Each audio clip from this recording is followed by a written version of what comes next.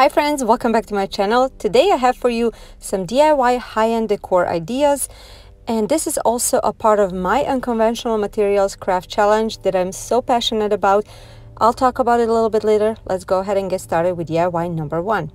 I'm gonna take this chips container and I will use this Adirondack white chalk paint by Folkart and a sponge brush, actually what's left of it, and I will um, painted with two coats and I just dabbed on it because I wanted that kind of a texture that leaves behind when you use a sponge brush. After everything was painted and dried, I'm gonna take this, um, it is mat that goes inside of your sink, so like a drying mat, and I am going to go ahead and uh, wrap it around my cylinder container and measure how much I need to cut so they don't overlap at all and also the height that I want. It's probably approximately half of the cylinder size. After I cut it all out, I'm gonna go ahead and take um, gray chalk paint bar, by Martha Stewart and then uh, the same brush and I will just dab onto it. So the same dabbing motion so it can leave some kind of texture on it. And this is how it looks like when it was done. Now I am going to uh, align it flush on the bottom and I will just use a hot glue literally at the beginning and at the end. Like you see me doing it over here. And like I said uh, I'm making sure they're not overlapping. And that's going to be it for this project. Now I'm not going to show you how it is styled. I'll do that at the end. First I want to tell you about my challenge. This is unconventional materials craft challenge. My co-host for this month is Olga from Olia DIY Adventures. She's my dear friend and extremely talented that I definitely recommend you guys to go ahead and check out. I love watching her videos. And this challenge is just about uh, creating beautiful decor um, from things that are not intended to be craft supplies. So it can be anything from trash to treasure, so saving uh, all the things that we would normally throw away, or using anything like ropes or maybe dog bowl or jewelry or hair ties, anything like that, just to be very, very creative and to just show people that you can create beautiful decor from literally anything. So, like I said, Olga is my friend, but also she's a wonderful creator, and I'm going to encourage you guys to go ahead and check out her channel. She is um, just such a sweet person, and her channel really, really deserve a lot more eyes on and her ideas are really great and her work is very meticulous so that's why I love her, watching her videos and her ideas. I'm going to have her channel linked in the description box along with a playlist so you see what everybody else created. Now if you're new to my channel, I'm Jelena I'm stay-at-home mom of two kids. I always loved crafting and doing, doing DIY projects and everything that I do is on extreme budget and I mostly do rustic and farmhouse style, but I do experiment with other styles as well. If something like that interests you, I would invite you to watch my other videos and hopefully you like them enough to stick around my channel. If you like this video, please give it a thumbs up. It means so much to me and it's helping my channel getting promoted on YouTube. If you uh, consider subscribing, please uh, link, uh, click on that notification bell so you don't miss any of my future videos. Subscription is completely free. I'm on Instagram, Pinterest, and Facebook. In case you're there, please come and say hi and join me. Now, for now, I am uploading on Tuesdays and Fridays at 10 a.m. Central Standard Time. I'm considering changing that uh, based on what I see when my audience, when you guys are watching my videos, but I'll let you know in advance so you know. DIY number two. I'm using these ping pong balls from the Dollar Tree. There are six in a package and I'm also going to be using these uh, wooden, they look like beads but they're just ginormous um, wooden pieces that were actually part of the my, my daughter's um, game that she had when she was little. Now I'm using my hot glue gun to um, create two holes on opposite sides of these balls, ping pong balls, and I am putting them on a skewer and I will actually create a mixture of this gray chalk paint by Martha Stewart and um, uh, baking soda and I will just use the same sponge and just dab it all around. I um, did two coats because I really wanted that texture to show through. Now you have to be very careful working with the ping pong because they're very delicate and you didn't you don't want to smash them. And then I'm going to do the same thing with these wooden uh, balls as well. And then um, after I was done with these two coats, Then I'm to go ahead and take a little bit of white and just dab it in there because I really want a different colors. And that way it seems like there is a different texture more like a cement or, or clay looking um, you know uh, it looks more like clay. Now that everything is done this is how they look like. I'm gonna take this nautical rope from the Dollar Tree. It is the light light one. And I'm gonna just use one strand so I'm gonna have to unravel one. And I just did until I was happy with the length. After I was done with that I'm gonna actually make a pattern. So one small two large one small two large uh, beads. And then I didn't have a big needle, so I used just the wire that I had on hand and created kind of a loop uh, at the end where I'm gonna, just really I created a needle. So now I started first with the smaller one, and that went through very easily because it, the opening is very big. But then I, when I started using ping pong, I realized that I need to create a um, bigger hole because of the nautical rope. So then I went back and created a bigger hole on all of them, and then now I am just gently pushing my created needle uh, through the holes and just um, putting all the beads on the rope. When I was done with all the beads, this is how they look like. So now what I'm going to do, I will just finish off the ends. I will create a loop.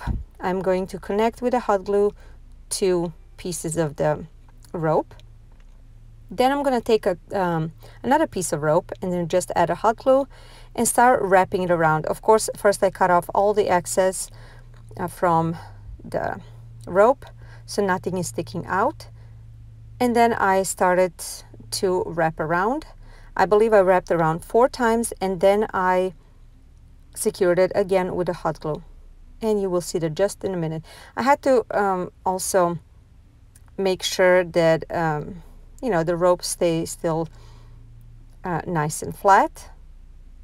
So like I said, after I was done, I'm just cutting off the excess and I'm going to do exactly the same thing on the other side. And this is how they turned out. So beautiful. Alrighty, DIY number three. I'm taking two of these Nutella on the go containers and I'm going to go ahead and first take my X-Acto knife and or actually box cutter and just cut off that lip that is on the top. It doesn't have to be perfect, but you know, do as best as you can, but be careful with any sharp objects, of course. Now I'm going to just hot glue these two together on a flat side, and this is what I was left with. Next thing, I'm going to take the bamboo skewers, and I, they're from the Dollar Tree, and then I'm going to take one at a time, and I will hot glue them around this these two containers. Now the first one I'm going to hot glue right um, where two of the containers meet. So there's a little indentation and then I'm start, starting to go all the way around. Now this one was already open package of the bamboo skewer so I did not have enough to go all the way around but after I use them all up you will see that in just a few minutes a few seconds I actually stopped. So here it is and I'm gonna cut off the excess I was not sure if I'm gonna use scissors or pliers but I ended up using an X-Acto knife with the help of the scissors. And then this is how it looks like. Now I'm gonna do the same thing with the rest of the bamboo skewers and rest of the to fill up the rest of the can or container new created container so uh, when I was done with everything this is how it looks like. Now the top is of course not aligned. I'm to take my sander and I will just gently and patiently sand it until it is really looking very nice and you know same height. Now I cut off three different, oh actually one longer and two smaller pieces of bamboo skewer that I'm going to position right here where you see me doing it on the top of the container. So it is just nicely finished. It doesn't, you don't see those plastic pieces sticking out. So after I was done with this, I decided to go ahead and take the faux leather uh, ribbon from the Dollar Tree. And this one is in a color brown. And I uh, cut out two uh, strips. And I'm going to position one on the top and one on the bottom. So I'm really uh, making sure that I'm putting a little bit of hot glue in the beginning and then one over here on the opposite side and then a little bit at the end. I didn't want to put too much because this is a faux leather and really you can see um, if there is any bump uh, that hot glue can create. But I was really making sure it looks nice and seamless and after that this project will be completed. Like I said, I'll show you all in just a minute. But before that, I want to tell you that for this video, I have to show you something that was sent to me by a company called Homary, and they sell everything that you can imagine for your home. Decor-wise, they have so many beautiful furniture pieces, and I picked out this coffee table that is gorgeous. As soon as I saw it, I was thinking I have to have it because it is nothing like I ever seen before, and it fits my style perfectly. And look at the price, guys. It is just unbelievable. And this is a real wood. So it arrived in this box. And then when we opened it, this is what it was in a box. So literally there was only four pieces and it was a bag with the screws. That's pretty much it. And after we aligned it and put everything where we wanted, the only thing left to do was just to screw the screws in and that was it. The easiest installation ever, I swear. And look how beautiful it is. This is probably the most beautiful uh, coffee table that I've ever had.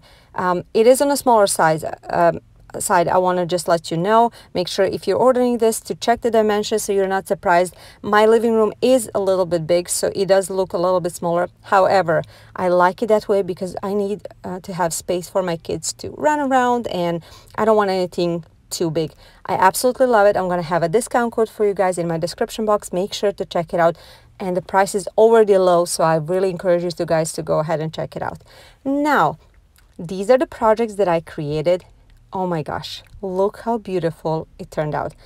These two are definitely my favorite. I cannot pick uh, which one I like more. Probably beads a little bit more, but I like both of them.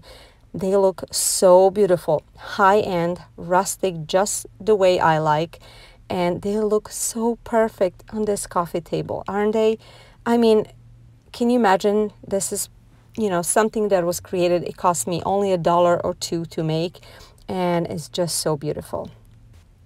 I forgot to mention for the coffee table, there is several um, colors to choose from. So you can go ahead and just check out whatever fits your style. But let's go back to my project. This is just, I'm so happy with this and looks beautiful on my table.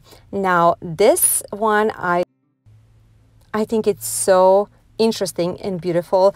I wish I had two more candles to show you because the other two compartments are actually more shallow so the candles will stand offset uh, opposed to the other two candles but either way I like how it turned out you get the point I think it's so beautiful so beautiful but I want to hear as always what you guys think about these projects um, and excuse my dog I try to not show him uh, but he didn't want to go away that's his spot so I want to hear what you guys think about these projects, which one was your favorite, and I want to also show you how I styled my uh, table.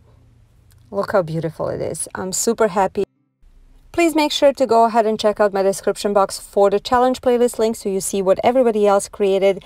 Also, there will be a Homary um, link to this table and to everything else and also to the discount code that they provided. Thank you so much for being here. I'll see you in my next video. Bye guys.